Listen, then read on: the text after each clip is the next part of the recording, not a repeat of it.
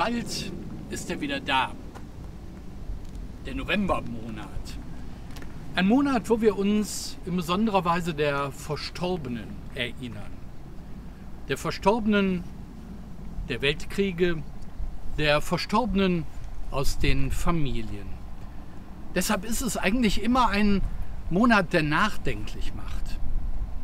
Wie sieht meine Zukunft aus? Was wird Corona noch alles anstellen?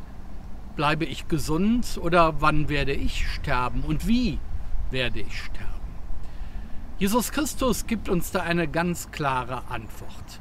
Im Haus meines Vaters sind ganz viele Wohnungen und ich gehe hin, um euch eine Wohnung zu bereiten. Wenn ich hingegangen bin und euch eine Wohnung bereitet habe, komme ich wieder und werde euch zu mir holen, damit auch ihr dort seid, wo ich bin. Unser Gott lässt uns nicht allein. Er schenkt uns eine gute Zukunft, er schenkt uns ewiges Leben.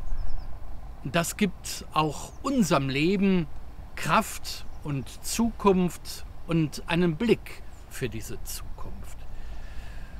Wie wir sterben werden, keiner weiß es. Wo letztendlich wir sein werden nach unserem irdischen Tod, wir wissen es nicht.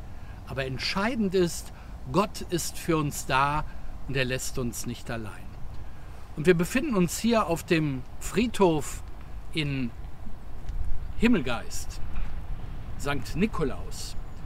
Für mich hat dieser Friedhof auch noch eine Besonderheit, denn genau hier an dieser Stelle werde ich einmal beerdigt werden.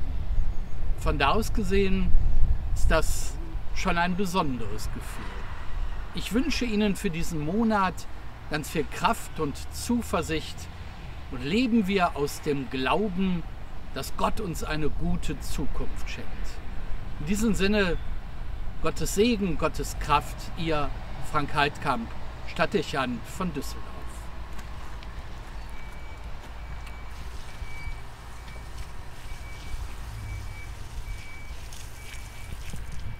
Thank